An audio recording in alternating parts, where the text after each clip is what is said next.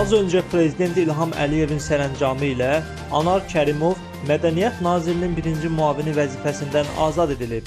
Dövlət başçısının digər sərəncamı ilə Anar Kərimov Azərbaycan Respublikasının Mədəniyyət naziri təyin edilib. Anar Kərimov 3 iyul 1977-ci ildə Füzuli rayonunda anadan olub.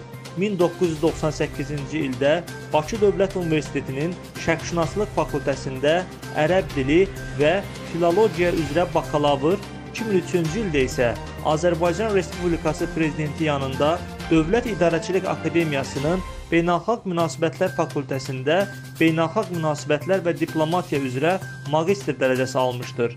Rus, ingilis və fransız dillərini bilir. Evlidir, 3 övladı var.